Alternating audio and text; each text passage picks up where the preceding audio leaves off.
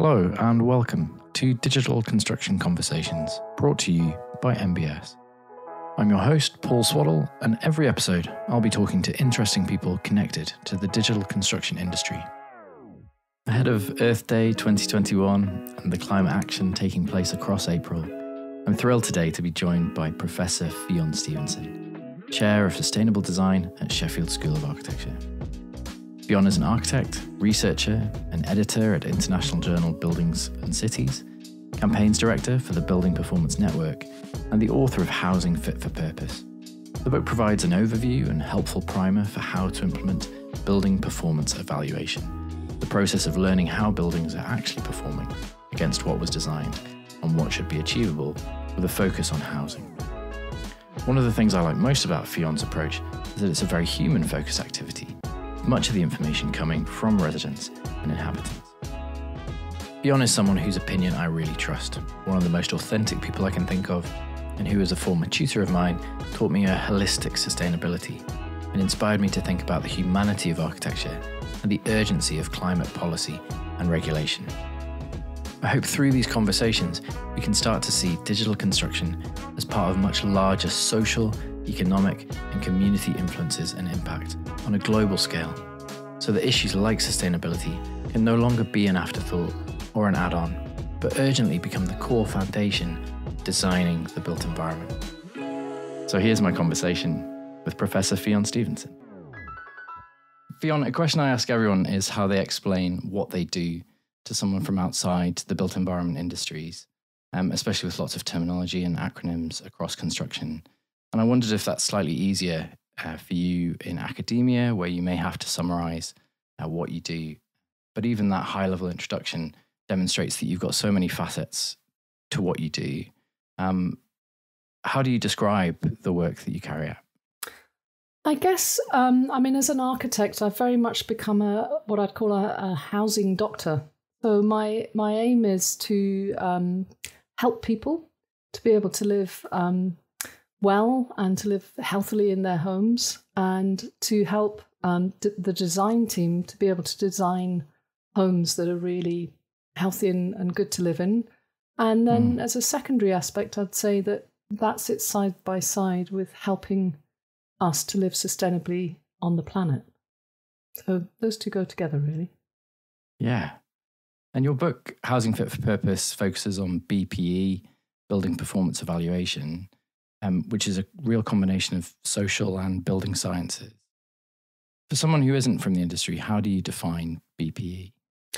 So, BPE, which stands for Building Performance Evaluation, um, is basically a cyclical process where at every stage of the program for commissioning a new building, um, seeing whether it's feasible, designing it, constructing it, using it, living in it, and even you know down to taking it apart. Um, what what the hmm. evaluation mm. process does is to check continuously that the design intentions are actually being met by what's being done. So it's very much a kind of um, continual evaluation to make sure that the whole building process stays on track and does what it's supposed to do. And do you think that the it surprises you that post post occupancy evaluation and building performance evaluation isn't better understood or better adopted across the industry? I think the answer to that question would be both yes and no. Um, yes, I, I understand why post occupancy evaluation, which is a, a bit of a misnomer, it's, it's, probably better to call it occupancy evaluation, but I understand yeah. why an evaluation of a building once it's occupied is not being done and that's because, quite simply, it's not regulated for. Mm. So it's not required um, by the government. And, you know, we know in the building industry and in the housing industry, we know from research that um, housing developers, contractors, the design team, everyone responds to regulation as a baseline. And if the regulation's there, it will happen. But if the regulation is not there, there's absolutely no guarantee it'll happen. So yes, I understand why it's not being done. But no, I really don't understand why it's not being done because um, it just seems nuts to me. I mean, there's a fantastic um, cartoonist called Louis Hellman who used mm. to regularly publish cartoons in the Architect's Journal. And one of my favorite cartoons is of, you know, four people sitting on a flying carpet with blindfolds folds around their heads. And I use it in my book. And these four people are literally flying blind, and they are the client, the financier, mm. um, the design team, and the builder. And, you know, really what Hellman is saying in that very telling cartoon is that we are literally, as a sector, as an industry, we are flying blind when we make buildings because we we never learn from our mistakes because we never look, we never get feedback from what we've done. So we go from one project to the next without fully understanding what we're doing. Um, so it does really, really surprise me that um, yeah. we don't automatically do it. Yeah. And is the situation better or worse in housing? Are commercial clients more likely to be assessing the performance of their building? I think it's harder. I think it's a lot mm. harder. I mean, my expertise, I am a housing architect and, and I've always loved housing. And I started off life as a, um, a housing worker uh, running a short life housing association in, in London for the homeless. So oh, I'm really, really passionate about housing for people, good housing. Yeah. And um, I, I guess what I discovered though when I got into housing is that it's an incredibly personal thing.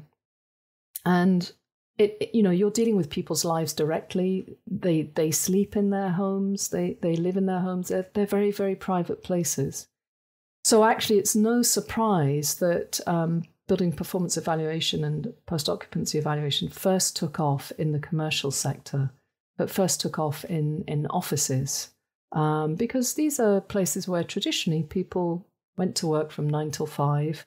They were shared spaces. Um, they weren't seen as particularly private spaces necessarily. And uh, so it was far, far easier to ask people what they thought about working in their office. After all, it wasn't their own office necessarily, it was someone else's office. So it was a lot e- easier to ask them. Whereas, you know, when it comes to people's homes, um, I mean, first of all, your home is often your pride and joy. Uh, it's often mm. something you've invested a lot in. Um, so people are understandably quite cautious about um, a stranger coming into their home and asking them, well, you know, do you mind if I have a look around your home to see if it works? And one of the analogies I really like in the book is an MOT for housing. And, you know, to ensure that cars are safe and within environmental targets, cars get tested annually. So, should volume house builders and, and housing providers be required to provide that regular evaluation of homes? Absolutely. Yeah. Um, I mean, it's interesting that you you raise that idea of, of the MOT. Um, it's actually something that myself and uh, Professor Sandy Halliday first raised with the Scottish government in a think piece we did for them in I think it was in 2003 so that's heading for 20 mm. years ago and we suggested this idea of a, an MOT for buildings um, as a, a, kind of regular inspection. I think at that point it was quite a novel idea. I, I think since then we have seen various initiatives to try and drive in that direction. Mm. So, for example, I mean, commercial buildings are required to provide logbooks. Regulations have changed insofar as, um, you know, there are regular inspections now required for for certain services, you know, the inspection of your boiler. Um, so certain aspects are beginning to be written into regulation uh, in terms of needing regular evaluation. But I think the big trick that the government has missed is seeing the building as a kit of parts mm. um, rather than seeing it as, as, as a whole entity. And um, you know, it it doesn't regulate for uh, regular uh, evaluations of, of the whole building and how it's performing. Housing associations do annual tenant surveys and uh, yeah. tenant, tenant satisfaction surveys, but I mean, frankly, they're not fit for purpose. You know, they they tell the housing associations what's happening. Uh, in other words, their tenants will say we're not satisfied or we are satisfied, but they very rarely get why this yeah. is happening. Um, yeah. and, and that's really what we need from building performance evaluation is understanding why things are working or why they're not working. And so in terms of if you were to try to implement an MOT for housing, what are the barriers to making that a reality? Is it purely legislative and policy based? Um, there are a number of barriers. I, I, think they're all possible to overcome, um, but there are a number of barriers. I mean, the very first one I mentioned was the privacy factor, mm. which is, um, I mean, we were until we we um, came out of the EU. You know, we were very much subject to EU data privacy laws, and we're still subject to UK privacy laws. Mm. And you know, they're good. They say basically you you should only collect data on people, personal data, if there is a public interest. Um, yes. So, you know, with housing, that is a genuine barrier. You know, we have to demonstrate continuously that any data we collect is only really for the public interest. Um, but that's a barrier that can be overcome. Um, you know, providing it's explained to people what what the evaluation's for um, in an information sheet, and they're given a chance to give their consent or withhold their consent then in in my time of doing this kind of work over I don't know what 25 years now, um, mm. I've never actually had a resident refuse. Oddly enough, that's really interesting. Um, you know, they on, on the contrary, most residents are really keen to engage with evaluation processes. They want to know what's going on, and also they want a chance to tell their story. Yes. So, um, so that barrier I think can be overcome. But I mean, there are some other barriers. So I think cost mm-hmm. is a potential barrier. Although, um, you know, the uplift on a, a, a, larger housing scheme, if you do do a thorough building performance evaluation, could be as little as 0.2%. I mean, mm. it's really not necessarily a huge cost uplift. And one of the barriers is the myths that surround yeah. building performance evaluation. And one of the myths, myths is cost. So mm. I recommend a, a, graduated approach where you do what you need to do, um, not what's nice to do. So you only yeah. do as much evaluation as you need to do, and that can really keep the cost down. But you know, cost is one.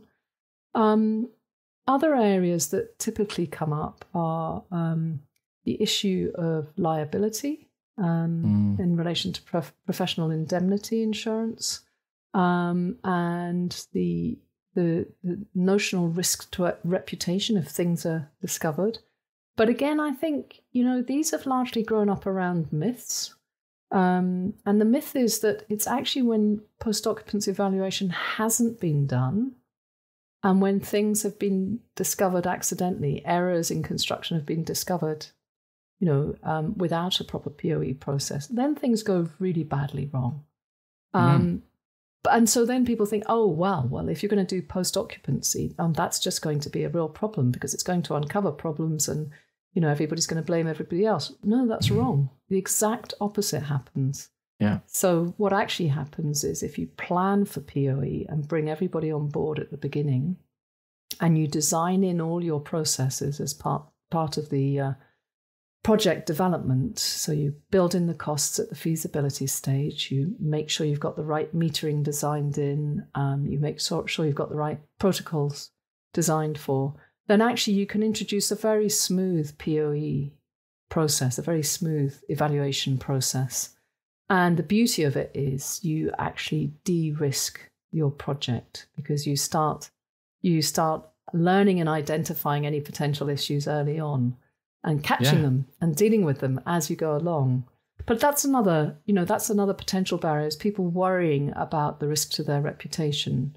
And sure. it's it's one that I think is um, often a case of trying to demonstrate to the design team that they actually have nothing to fear from um, errors being uncovered in the POE, providing everyone's brought along on the basis, on a contractual basis of if problems occur, we're not going to blame each other, we're going to solve the problems.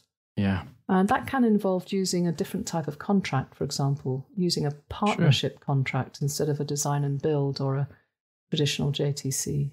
So I think those are the main barriers. I think for housing, privacy, perceived mm. cost as opposed to actual cost, um, and perceived liability issues as opposed to actual liability issues.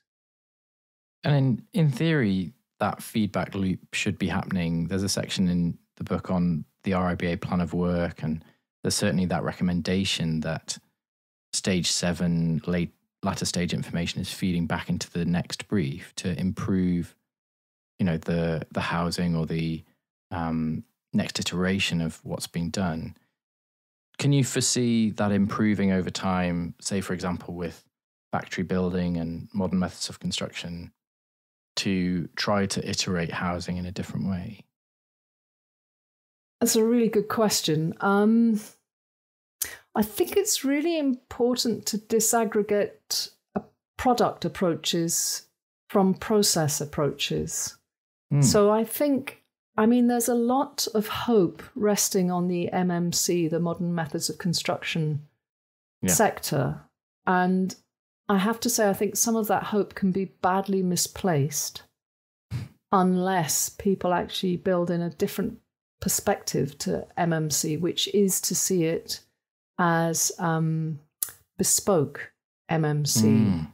So, my experience in the past when I was an architect um, and also as a researcher was watching housing association engage. Um, this was a consortium of housing associations in Scotland engaging with MMC, um, both concrete and timber products, um, as a as a system, as an innovative system to try and improve their quality assurance, try and improve their production process. And actually, it all went disastrously wrong. Okay. And it went wrong for two reasons. So, the first reason is that it's very important to understand that whilst MMC in and of itself is can be a standardized process, the site never is standardized.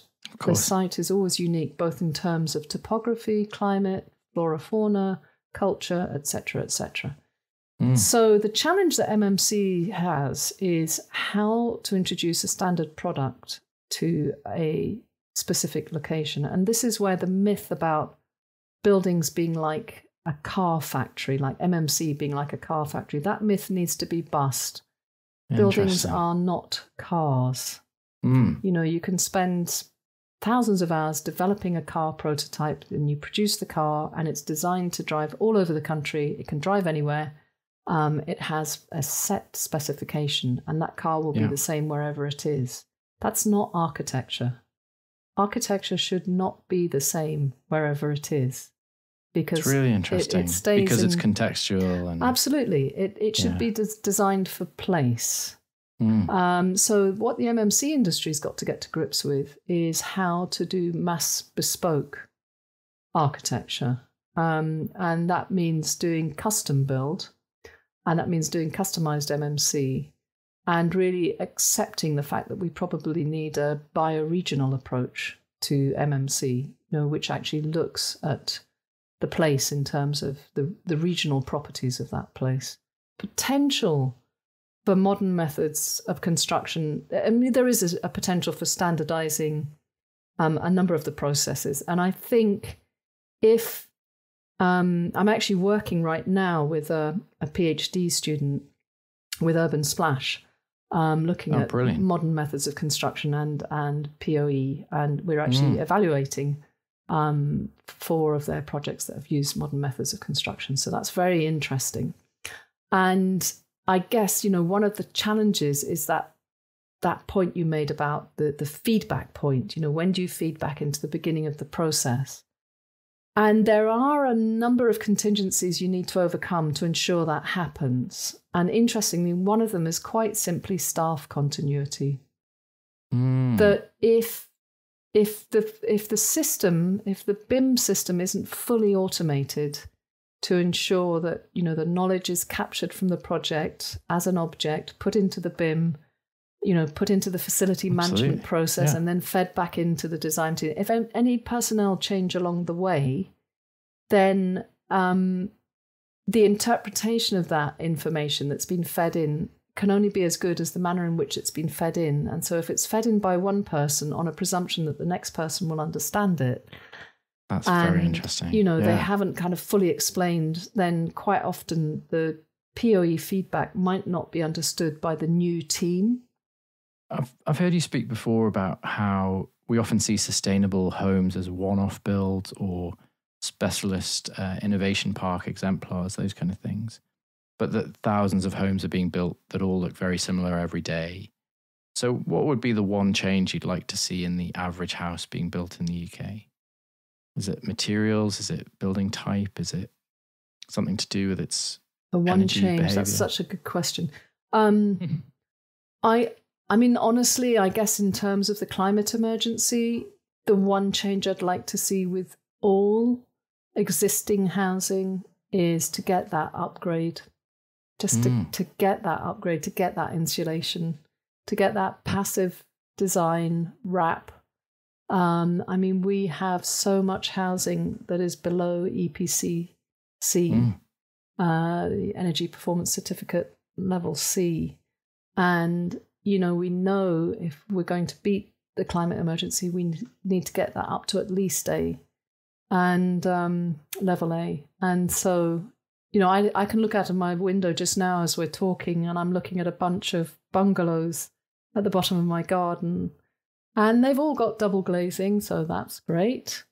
but I'm looking at the walls and I know that they are cavity insulation walls that probably haven't even got the, the 50 to 100 mil cavity full of insulation. Yeah. And they certainly haven't got any insula- external insulation.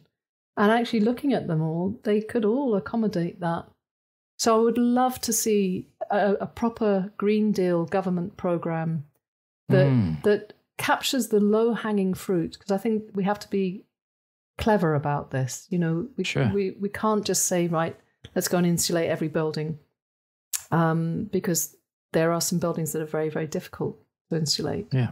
But actually, just to insulate the ones that are easy to insulate and to go for the ones that are losing the most heat. Um, you know, so to, to, do, to do that insulation program in an intelligent way, not a market led way, it needs to sure. be government led and it needs to be strategic. And, you know, it needs to be based on the house condition survey and actually really targeting um, the, the areas that will have the most effect on fuel poverty and the most effect on reducing heat loss. Yeah, I admit I struggle to keep track of all of the various retrofit grants and green better homes programs and other things that happen or are underway. If someone is thinking of retrofitting their home, is that the key advice is to boost the amount of insulation? Yeah, I mean the, the the way we start is we always suggest to any any person wanting to try and improve the performance of their home that they try and reduce their energy demand first. You mm. always reduce your energy demand first. So that basically means reducing the heat loss from your mm. home in the winter in the UK. Um, and also reducing the overheating. Increasingly, it's about reducing the overheating. And what's wonderful is insulation, properly applied with the correct ventilation strategy, can actually do both. You know, it can keep yes. the heat out and it can keep the heat in. So it's a win win. Yeah. But um, yeah, I mean, I, I think there, there, the government doesn't help us. Um, you know, if you go to the Energy Savings Trust website, um, there are all sorts of grants, as you say. There are renewable energy grants, and um, although in general that now the government is saying you can't get your renewable energy until you've done your your insulation first. Um, I, I think there is a, a, myth out there, and there are still plenty of people who would like to put photovoltaics or solar panels mm. um, or geothermal heat pumps or whatever. You know, they want to go for the eco bling, mm. without just doing the really boring, unsexy thing of adding some insulation around the building first. I'm always interested in your uh, perspective. I've heard you speak about the difference between energy efficiency and sufficiency. Could you explain that in a bit more detail? Yeah, I mean, I'd introduce a third term as well. I was just talking this morning to someone about this. Um, so I think we're talking about energy efficiency energy effectiveness mm. and sufficiency. So, to just explain the difference between those three terms and why just talking about energy efficiency is so limiting. Energy efficiency is basically a throughput measure. So, when we talk about energy efficiency, we talk about the amount of energy that we're using um, over a given period of time. Um, and and so the, the typical energy efficiency measure is kilowatt hours uh, per meter per year. Uh, mm. And that's the one that's been rolled out across Europe and that the UK government uses. And that's become the kind of lingua franca for, for the discussion about how to make our homes sustainable. But all that is describing is how much energy you're using, not the full amount of energy you're using. It's about how much energy you're using over time. Mm. And so if you say a house is 15 kilowatt hours per meter squared per year energy efficiency, that doesn't tell you the total amount of energy that that house is using in a given year. Sure. Um, it also doesn't tell you um, how big that house is and, and you know whether it's excessive energy or not. Um, and it also doesn't tell you necessarily how effective um, the efficiency is. So, okay, mm. you're getting this kind of low throughput, but how effective is that? I mean, it could be that the person in the house is freezing. you know, you could have this wonderful 15 kilowatt hour thing, and they could be they could have just turned off their heating. So yeah. there's a question of effectiveness, which is really about the appropriateness of the energy efficiency. So once you've got energy efficiency, you need to look at how effective the solution is in terms of actually meeting people's needs. Yeah. And then the next stage after that, it, the other aspect of effectiveness is how it meets the needs of the planet. Mm. And, um, you know, in the climate emergency, I mean, I think we're getting very strong messages. I, I tend to think of the planet as one big organism. You know, it's one, I mm. very much go along with James Lovelock's Gaia theory. And I do think sure. we have a self regulating planet. And I think the planet is sort of sending out distress signals at the moment in terms mm. of the climate emergency. It's also sending out distress signals in terms of COVID 19. Mm. So, um, I mean, you could think about it metaphorically like that. And I suppose sufficiency is where we get into that conversation where we say we need to respect the planetary limits um, that will allow us to keep living and to survive on this planet and to thrive. And we need to understand those limits and basically we need to work within those limits. So the the big question of sufficiency is what is going to be sufficient in terms of energy use in order for us to live comfortably but within planetary means. Mm. So Elizabeth Shove is very, very good on this. Professor Elizabeth Shove from Lancaster University. She's she's really been pioneering the thinking around sufficiency from a, a social point of view. And um, you know, she's quite provocative. She does things like walk into lectures wearing a very thick um, coat with a big hood on it. And you know, her point is, you know, this this is an aspect of sufficiency. I I can keep myself sufficiently warm by putting this coat on. I don't yeah. need to heat up this huge room in order to keep my myself warm. So thinking yeah. about sufficiency is a whole different mindset. You know, you start thinking about, well, what would be enough um, yes. for me to yeah. actually live comfortably, but not overdo it? And, what would, and, and, and what does that mean in terms of my impact on the planet? So, sufficiency Absolutely. is very much about eco footprinting and understanding the overall impact that each of us are having on the planet. And um, yeah, living within our means. And it's a kind of different um, metric from energy efficiency, and uh, it's quite a controversial one. It's um, it's one that people aren't always comfortable with in yeah. in a capitalist society where the notion of sufficiency runs diametrically opposite to the notion of profit mm. and mm. you know excess value i mean sufficiency would say we should design buildings to be re- reusable and be able to deconstruct them and build them again from the same pieces. But the way the economic system's set up is that's just not very profitable. It's very profitable to the planet and to, to, to us living on the planet within our means, but it doesn't generate excess value. I think it leads neatly onto last year. I think I heard you talk about indoor air quality and the buildup of carbon dioxide in homes but clearly, the previous, you know, the last 12 months has placed a huge scrutiny on fresh air and the suitability of our built environment, whether it's office space, whether it's our houses becoming our workplaces, openable windows for ventilation. How has the pandemic changed your perspective or might influence your work when it comes to things like thinking about ventilation or air change rates, that kind of thing?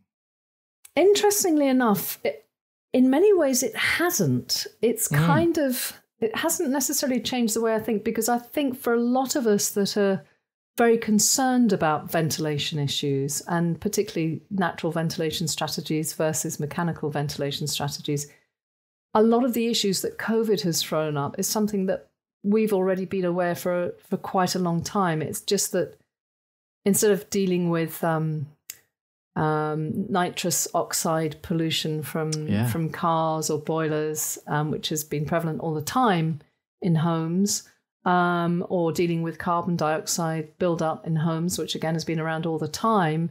Yeah. I think what's happened is COVID has been really helpful to those of us who've been concerned with these issues because it's it's brought these issues much more to the forefront by mm. by exaggerating the problem. Again, if I was to think of it philosophically on a Gaia principle, you know, is is the kind of the Earth planetary systems forcing us to educate ourselves about how we really need to ventilate our hmm. buildings. Mm. Um, and so, you know, COVID has forced us to think again about how we ensure that we get good fresh air into into our living spaces. And yeah. it's it's brought ventilation's often been the Cinderella in um, architecture.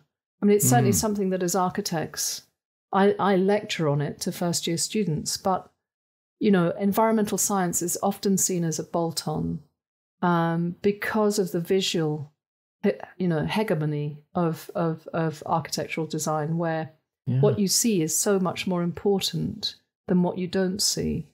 Yeah. But, you know, imagine a world if we were able to color the flow of air. Mm. You know, and, and that's what the, actually that's what's been so lovely with COVID is um, people like Professor Cath Noakes from from Leeds. You know, she's on the SAGE committee. She's a wonderful woman. Um, you know, ventilation queen. Um, she she has um, been involved with and has publicized um, lots of studies on how to improve ventilation. And also, you know, there have been marvelous um, short videos showing what it's like when someone breathes COVID, mm. you know, and, and so you suddenly you get That's these, right, yeah. these sort of wonderful visual, representation. visual representations. Yeah. And, and this is what we need in architecture. This is what we need yeah. in housing design is to have visual representations of how the air we're breathing in the home is actually moving around. Yeah. Um, I mean, some very radical architects go even further and they, they actually talk about air as a material. Yes. So they actually yeah. make the air solid and, you know, they mm. talk about the materiality of the air. And uh, that's also a very interesting way of thinking about air.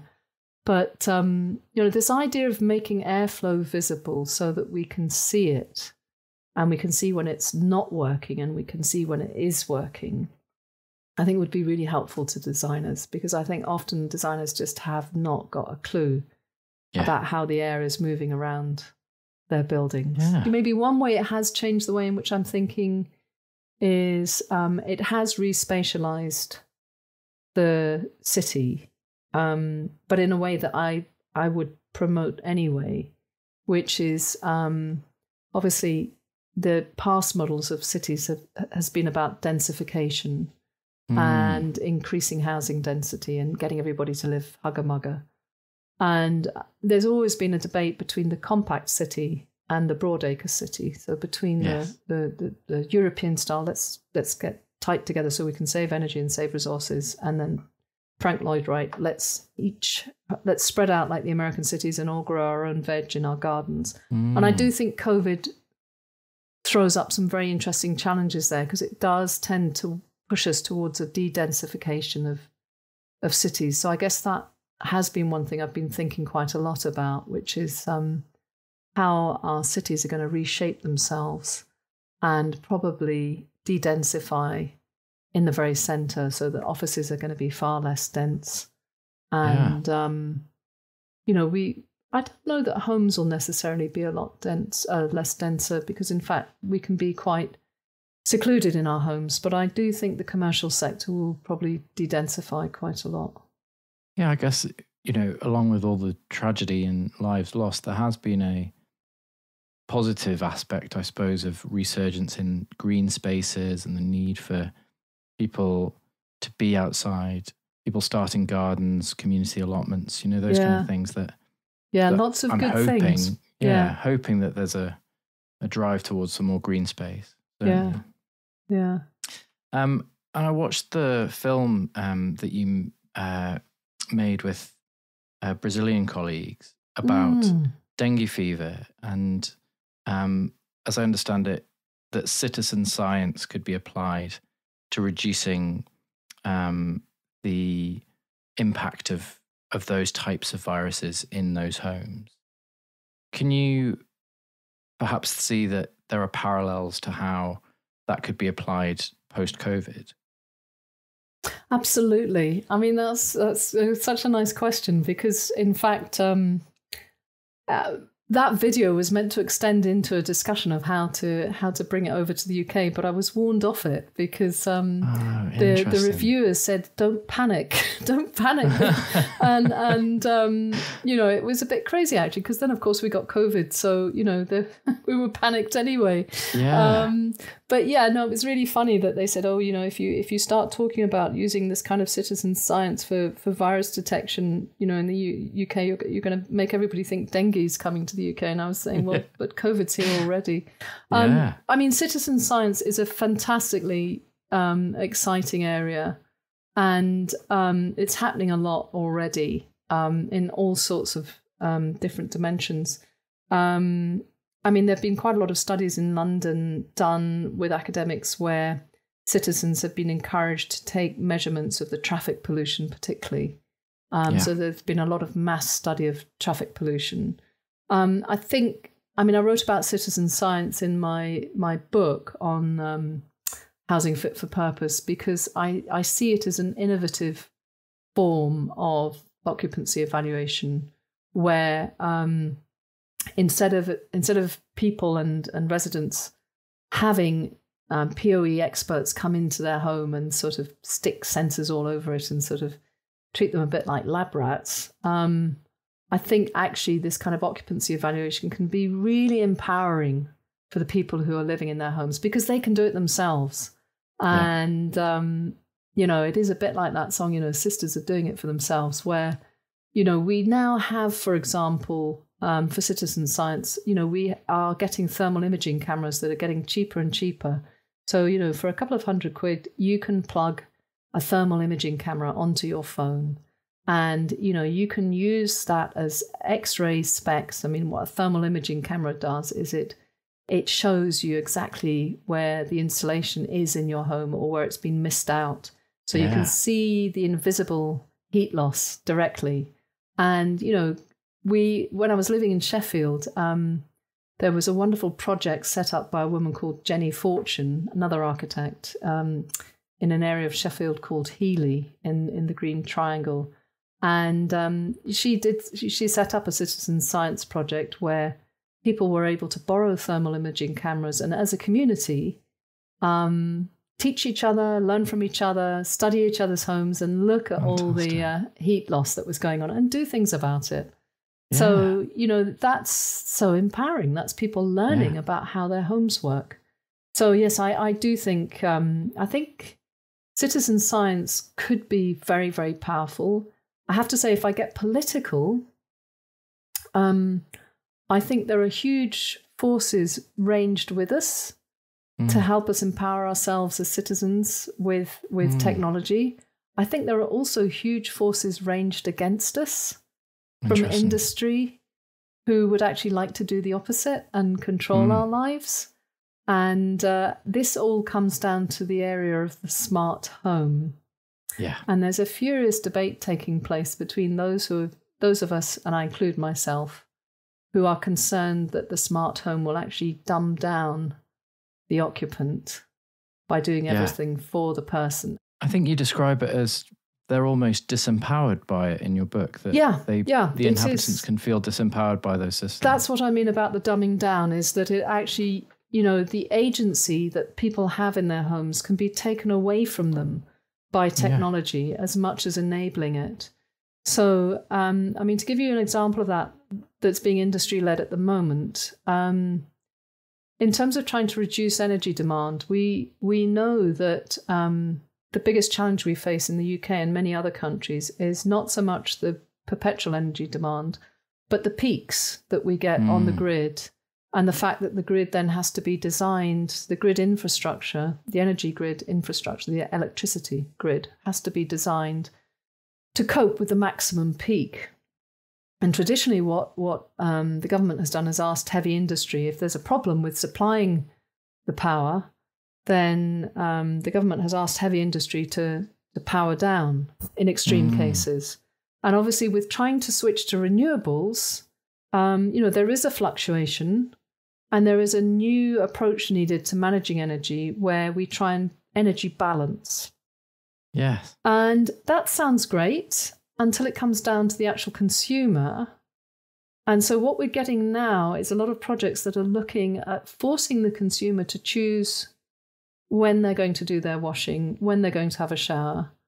I mean, it's a bit like the bad old days when we used to have night storage heaters and, and you know, everybody had to do Mm. their washing at midnight because that's when you got Yeah. the cheap energy. That's now becoming much more ubiquitous. But the real concern is that the energy prices will fluctuate not just per hour, but per minute.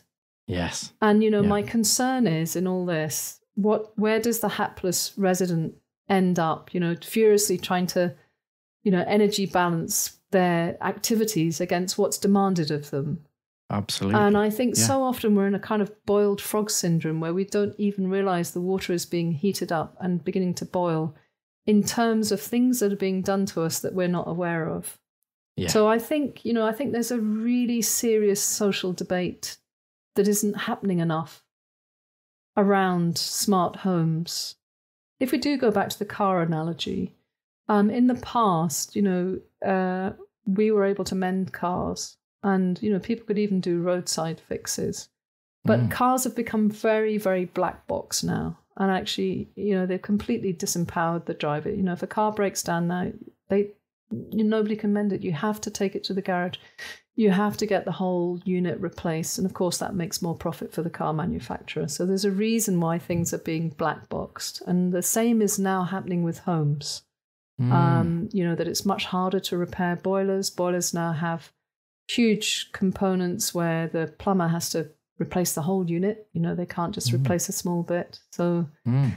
and you know, my concern is that with the smart home, that we'll get the same situation where it'll be um, ubiquitous sensors, but if something goes wrong, you have to replace the whole system. it's related to that idea that, um, and it also relates to the ethical aspects that you The talked about, privacy. where there's data collection now on a giant scale, and is it likely that that data could be exploited by third-party companies um, as it's being collected, or do you think that already there's sufficient anonymization or aggregation of that data that that's not the case? Yeah, um, it's a bit like the Facebook debate in terms of uh, how much um, how much of our privacy do we give up. So certainly, Mm. when I've been doing studies, um, occupancy studies, and we've got sensors in the home. Um, I mean, typically, in the past, we might have only had two or three sensors that would be looking at temperature, humidity. Um, but as things get more complicated, they they will probably reach the stage of one of my um, occupancy evaluation pro- projects, which was the Sigma Home back in um, 2010, when we, we actually had about 23 different occupancy evaluation methods on the go at once. I mean, it was very experimental. But, you know, Yeah. we had things like we were able to monitor when windows were open and closed. Oh wow! We were able to monitor when where which room people were in, how long they were in the room for. Um, you know, we were able to monitor a lot. Um, the the occupants, I'm very pleased to say, were a, a family who were very willing to let us do this as part of the big experiment. So they'd volunteered to do this, and that you know they were well rewarded for it. Um, but they, um, you know, they were keen to help. And mm. it was a fantastic project with with Stewart Milne, um, uh, housing developer. Really great project. We got so much out of it. But there was this, you know, this privacy issue, and I, you know, for me, it was the first time that I had kind of got involved in such an intense project, and it did make me feel uncomfortable at times. And I think the way we've got around this at the moment is we talk about different levels of aggregation of data mm-hmm. or the granularity of data. And, and, what I mean by that is that um, personal data is down to the individual. But if you are looking at um, 50 homes and you're doing all this censoring, um, but you do it in such a way that you can't uh, you can't disaggregate it down to the individual, so you can get yeah. results for the 50 homes and say, well, we know across these homes this is what's happening. Um, that's one way around it is to aggr- aggregate the data up um, so that actually it's impossible to tell which particular house that data has come from. And you can start to do that probably once you get up to about five homes or so, you can start to do Interesting. that. Interesting. But it does mean that if you're going, if you're getting involved with someone on an individual basis, you know, a one off house that's been developed by a small developer um, and there's a post occupancy evaluation study, then, you know, there has to be an informed consent on the understanding from those residents that any data they provide will be will be personal. Um, I mean, it can be anonymized; they can have their name taken off it, but you know, it's it's still personal data. And something else that that relates to that I know you're, that you're passionate about is the ergonomics of those controls and the ability for an inhabitant to have um, an agency over the control of their heating, their lighting, all of those things. Can you talk about how that affects your evaluation work? Yeah, um, ergonomics is again a bit of a Cinderella subject. I mean, there seems to have been a new term for it now, which is called UX, user experience. Mm. Yeah. Um, and actually, I mean, there's a great book just come out now from um, Judith Kimpian, Sofie Pelsmakers, and Hattie Hartman um, called Energy, People and Buildings. And mm. there's a great section in that book on on UX, user experience. And um, the important thing about I'm going to talk about user experience rather than ergonomics, just because I guess it's easier to understand that way.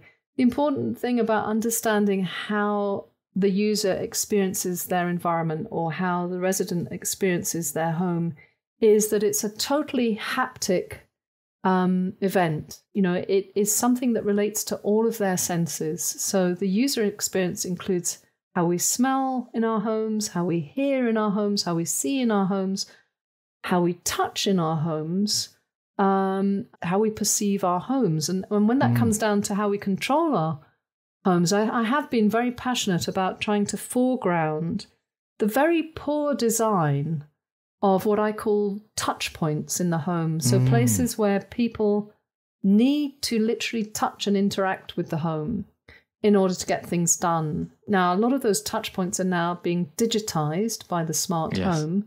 So, in fact, you no longer need to touch, you can simply speak um, yes. to get the light on, or you can speak to get um, the ventilation fan switched on.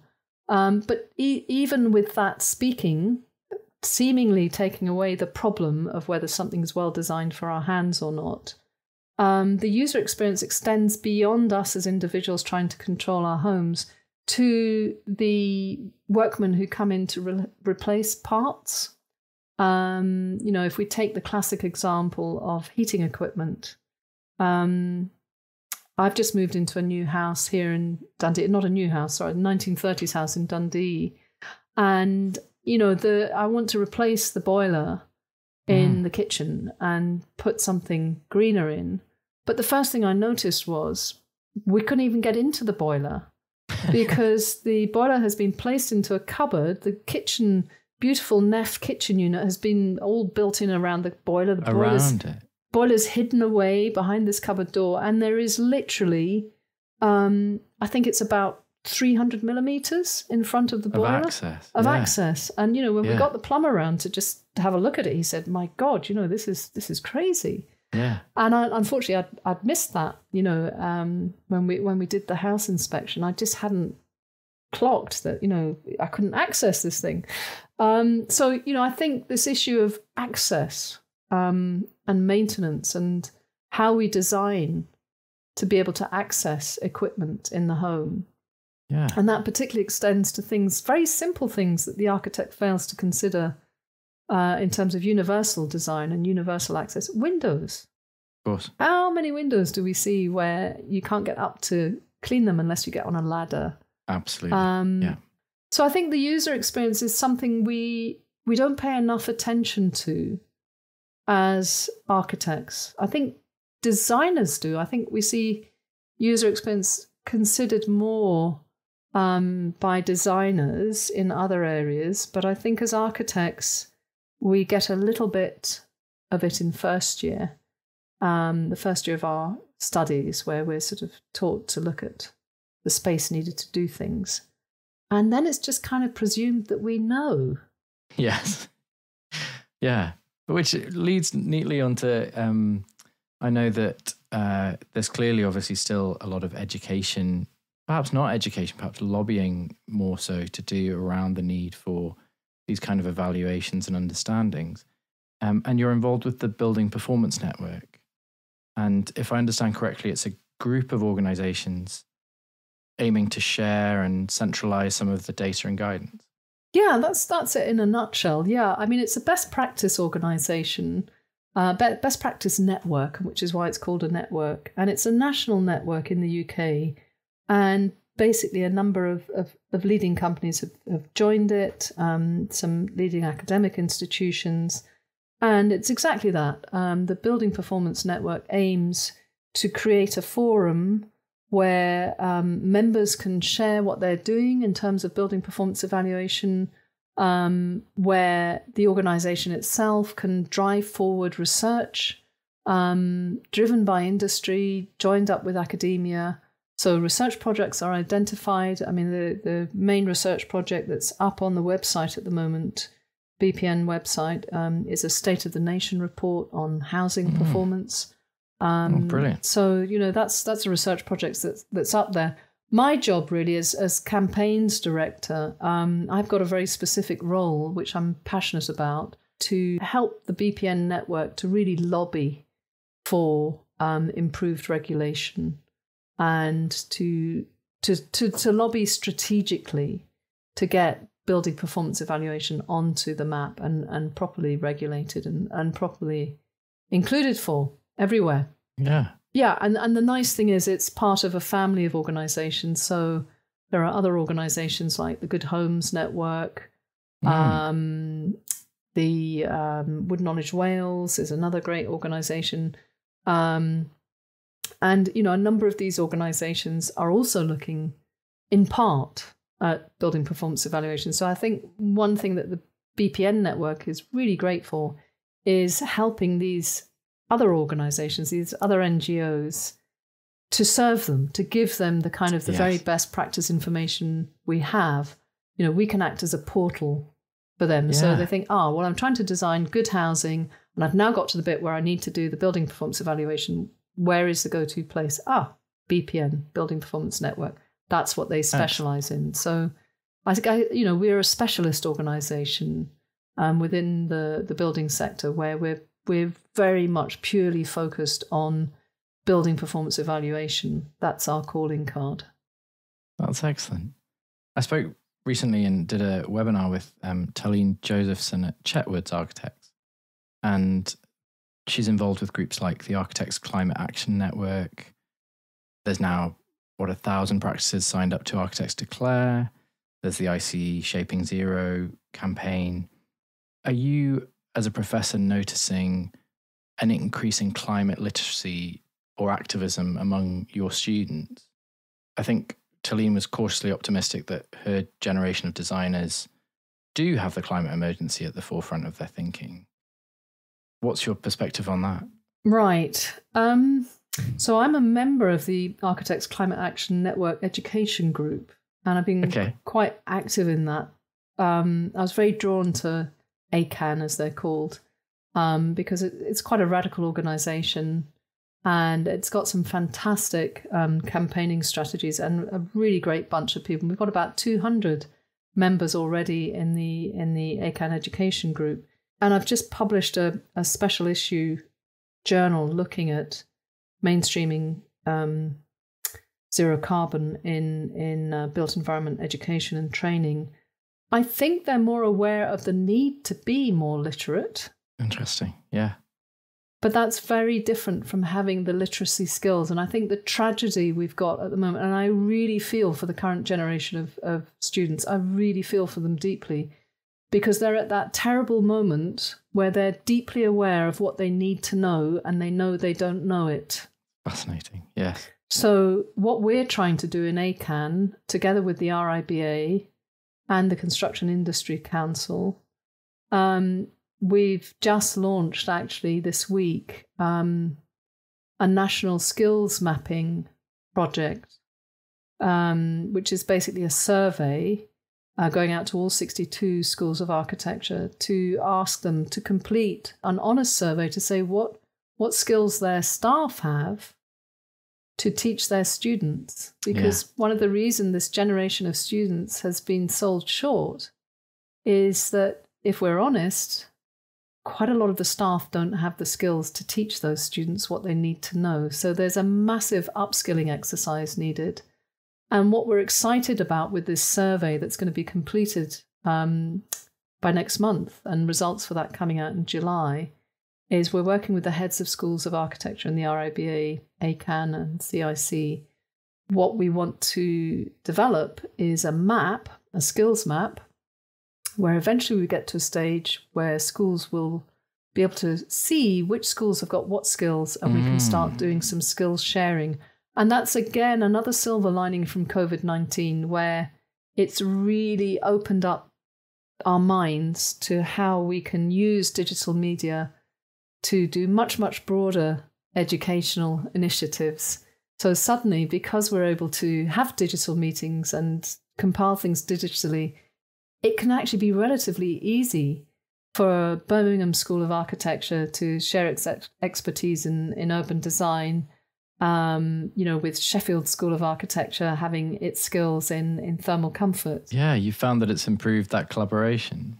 It can do. Mm. It's not happening yet, but that's the potential is that, you know, we could see if schools are willing to be less competitive and more collaborative, which I think must be something that comes out of COVID 19, the need to collaborate. Yeah. Then I think, you know, we could get to a situation where one school says, well, I, you know, I'll swap you. If you can give me my thermal lecture, I'll give you this in exchange and we'll do it digitally. That's fantastic. That's what we can do. We can do it online. And, um, you know, I feel very privileged to be part of that initiative, to be part of driving forward this new way of thinking about how how to learn together um, so I think to go back to the very the origin of your question, I think students are very aware of what's needed.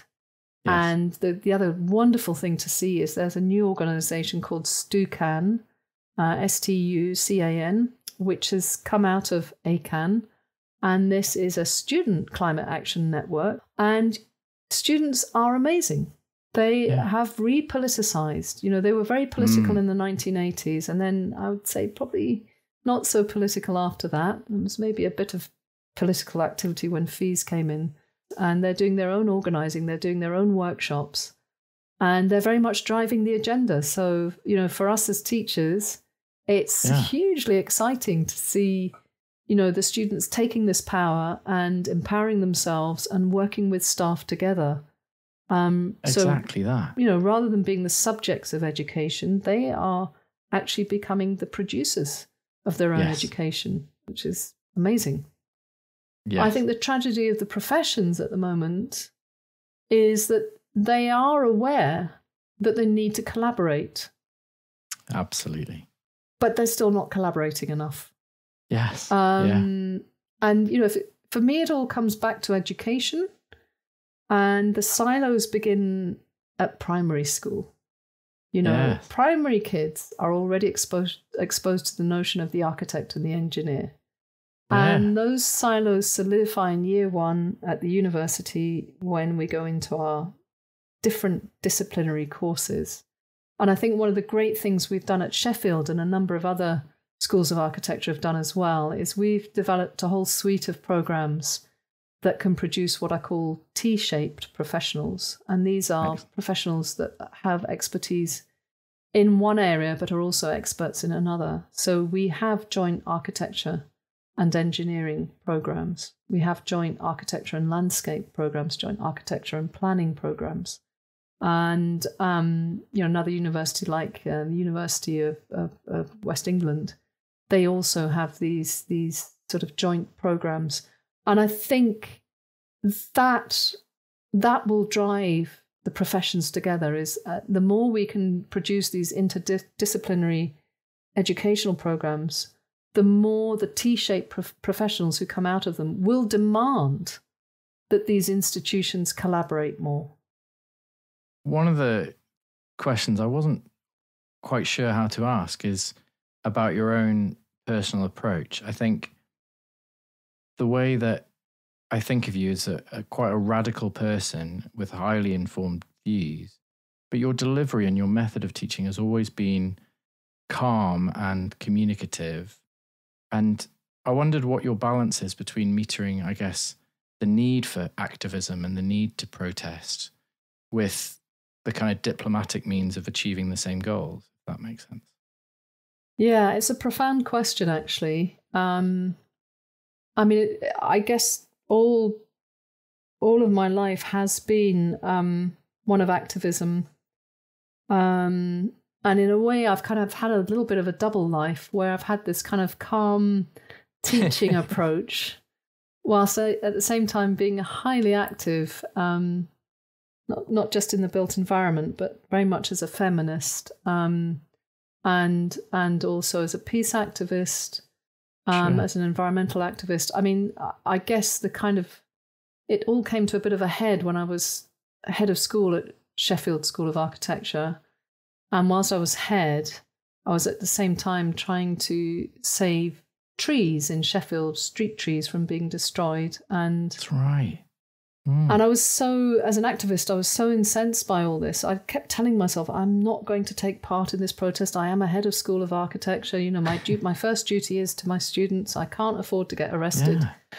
But actually, one day I was in my study and I just heard this chainsaw, and my emotions just took over. Yeah. And I ran out yeah. of the door with my mobile mobile phone, thank God, and I ran under the tree where the arboriculturists were trying to saw it down. And I just stood there on my own um, with my phone. And I just said to everybody, they're trying to chop this tree down, and I'm here on my own, and there's lots of big guys around me. And, um, you know, they had to stop. That's the way that nonviolent direct action works is if you put your body on the line, then yeah. people have to stop what they're doing because there's a health and safety issue. But the outcome oh, from that, the outcome from that was that I was banned by Sheffield City Council from undertaking any further form of protest within the city boundaries in relation to the trees. Wow. In the end, the whole thing was turned over. The tree campaign won. But that for me was a kind of a very profound moment where, you know, I, I had to put myself on the line and say, what am I doing here? Am I am I an activist or a head of school and how do I combine these? Yeah. Um, and that was a few years ago now. And, and since then, I guess I've become more and more activist. Um, yes. And, you know, I am trying to bring my personal activism much more into the classroom. I mean, I always have done in a quiet way, but I think the ACAN work, you know, the working with yeah. the Architects Climate Action Network has actually allowed me to finally align my external environmental activism with my architectural teaching in a very in a, in a much more coherent way.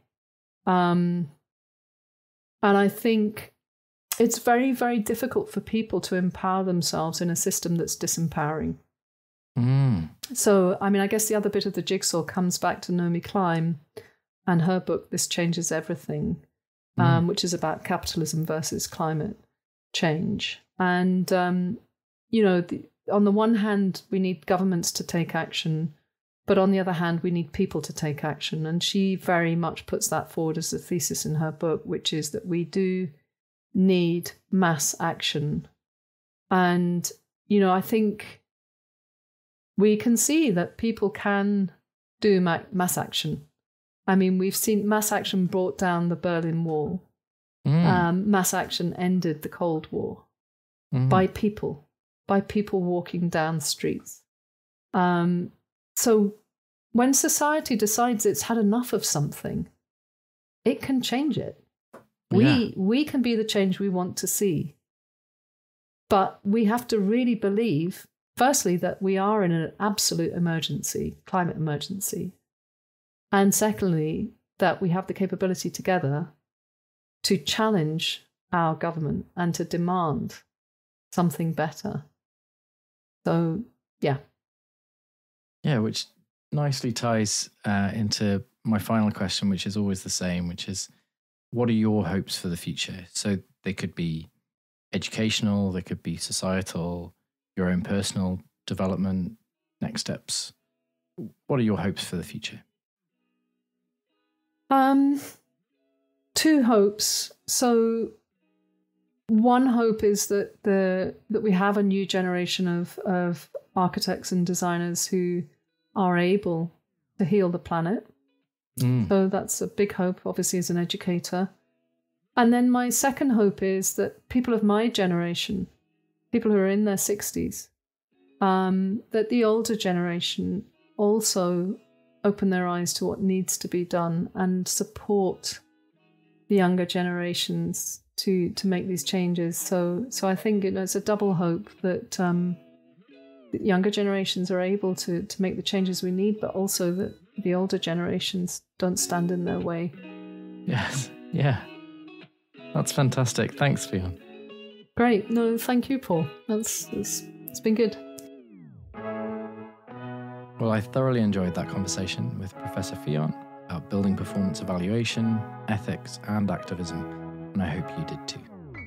Please subscribe to the podcast on your chosen listening platform and press like or leave a review if you can, helping more people to discover these episodes. If you have any feedback or suggestions, or you think that you have a unique perspective on digital construction and that we could have an interesting conversation, please contact us at podcast at thenbs.com. Until our next episode, thanks and goodbye.